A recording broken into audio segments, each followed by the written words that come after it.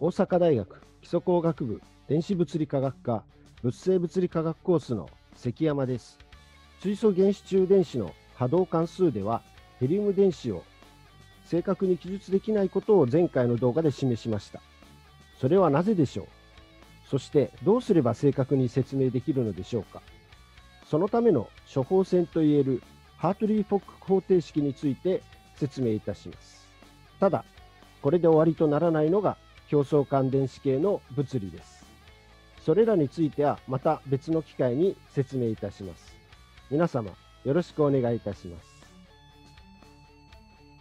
エネルギー順位というのは、1個電子を取り除いた時の全エネルギーと元はい元のエネルギーとの差で取り除いた電子のエネルギー順位を計算できると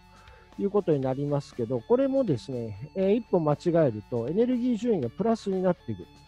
いうことが出てきます。なんでプラスのエネルギー順位がダメなのかっていうと、プラスということは、えー、原子の中で束縛されてないという意味になるので、それはそもそも何かを何かがおかしいということになる。で、そこまで含めて、一体じゃあ、なんでこれダメなんですかというと、ハミルトニアンはいいと。それからあともう一つはですね、ヘリウム2という光源、えー、光があります。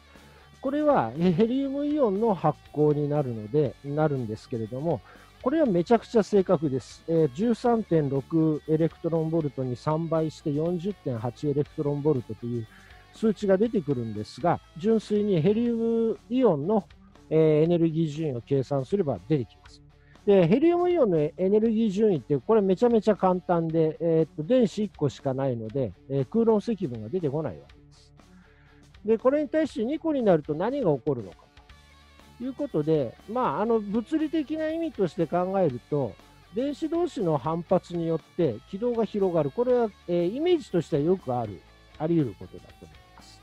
あるいは、他の電子によって原子核の電荷が、まあ、実行的にですが、えー、遮蔽されていると。ところが、これ遮蔽というのは結果であって、ハミルトニアに入れ込むことはできないので、では何をするかというと、あのあと、有効核電荷が減少すると何が起こるかというと、やっぱり軌道が広がるわけですね。これ、R の期待値というのは Z 分の A0 に比例、まあ、ざっくり言えば比例するので、この有効核電荷がですね、ちっちゃくなれば、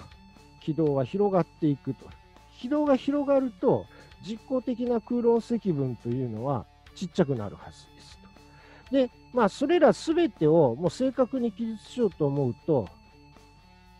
ヘリウムの2電子のエネルギーというのを、最小エネルギーを計算するときに変分法を使います。波動関数の中の Z というものを変分パラメーターだと思ってですね、Z プライムとして、これで、え、最適なあ Z プライムを求めましょうということをやります。で、そうすると、えー、運動エネルギーはこのように、えー、かけます。そうすると、ここハミルトニアの中に Z は存在しないので、これそのまま Z プライムになります。ポテンシャルはどうかというと、ポテンシャルはここ、えっ、ー、と、Z が、えー、残っていますので、これは Z×Z プライムという形になります。この運動、えっと、運動エネルギーとですね、ポテンシャル、まあ、符号を見なければ、この両者の間って、もし Z と Z プライムが等しければ、ちょうど半分の関係にあるということになります。だからこれがまあそのまんま、これにマイナス符号をつけたら、これが、えー、1電子の時のエネルギー順位になるわけですね。で、えっ、ー、と、これで空論積分もこれは Z プライムである。で、じゃあ全エネルギーをどうやって出しますかと、もうこれはただ足し算をすればいいだけですが、えー、足し算をしました。で、えー、Z が、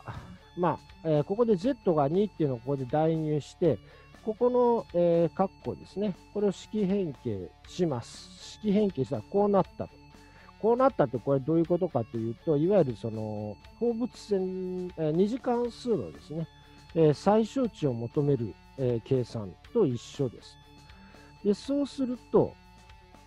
結局、こういうことになるわけですね。えっと、これは、えっと、どういうことかというと、z プライムなので、このちょうど z プライムが16分の27の時に、ここが消えますと。そうするとエネルギーとしてはこの人でよろよろしいということになります。比較すると、大体あのマイナス4分の11という、えー、と4分の11というのは、こっちに2を入れたら、こっちに2を入れたら、ここは2分の11になるんですけど、まあまあ、とにかくですね、ここはマイナス2.75、それからこちらはマイナス2.85という値になります。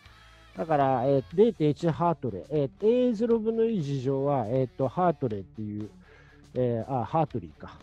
えー、という単位になるんですが、えー、ハートリーとリュードベリは、はえーと、倍の関係にあるんですけれども、13.26、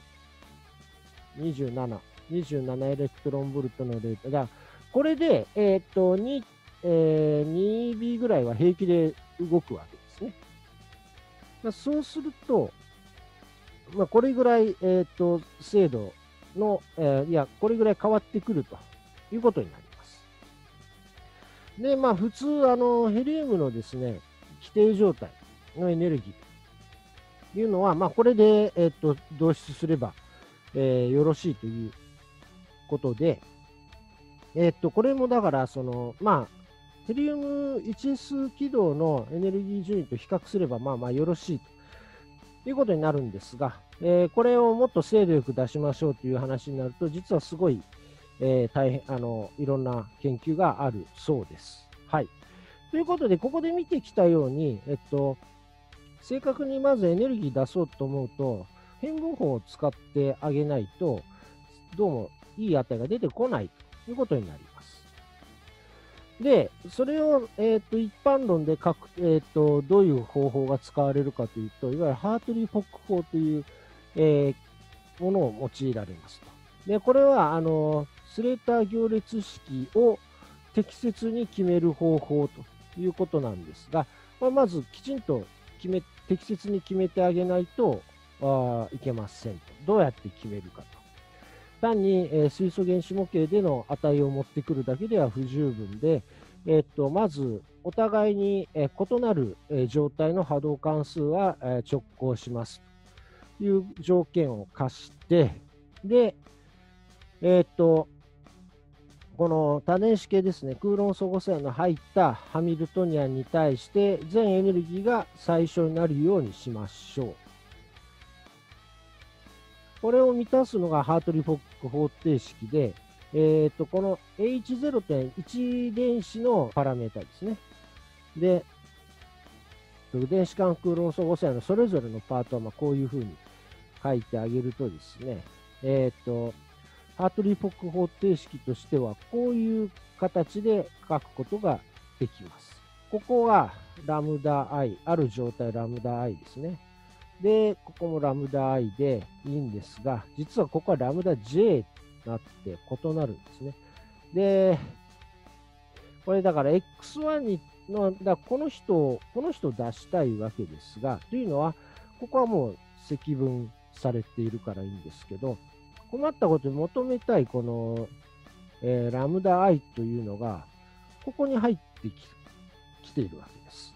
これ何かというと、これいわゆる交換積分の効果が入ってるわけですね。がこ、ここにあるわけです。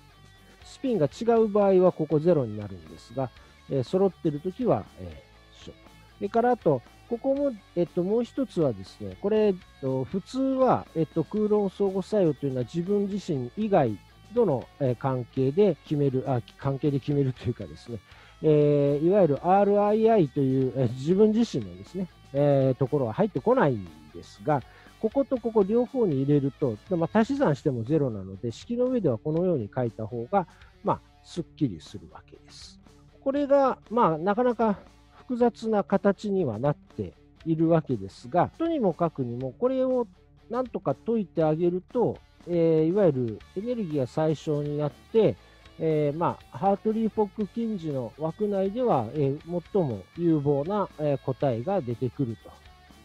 ということになります。